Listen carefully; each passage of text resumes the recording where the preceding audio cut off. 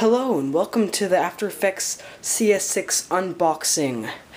Okay, so here it is, and here's everything 64-bit, you can see right there. This, this is the Mac version, Mac OS Lion. So, yeah. So, After Effects. Alright, so here, let's get started. Alright, so, let's just get this thing. Alright, now this right here. As you can see, there's a really cool CS6 um, logo right there. It's pretty cool. Just to add to the artisticness or whatever. Okay, so let's get this baby open. Huh, how do you open this thing? Alright, let's just, I'm just to open it right here. Alright, now here's the actual After Effects disc right here. So you see it? Can you see that? Alright.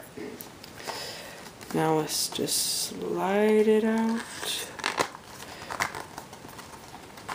Oh, let's open it.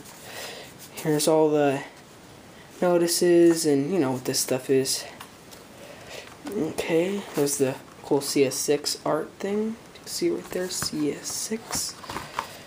Now here is the disc for After Effects right here. Best editing software. Here it is.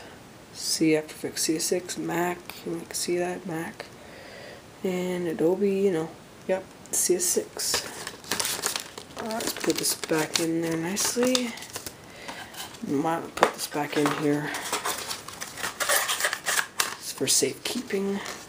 See what else is in here. Oh, looks like there's nothing else. So, yeah, hope you liked it. Uh, I highly recommend you get this software if you could if you could actually rack up the money to get this. The CS6 is around 1999 but if you're a student, I think you can get a discount. There's student editions and there's teacher editions. So, yep, Let's just put this in the front, right here, so you can see it. Yep, so there's teacher editions and there's uh, student editions. So student editions would rack up around 400 400 $500. It's a pretty good price compared to a thousand. So, what, yep.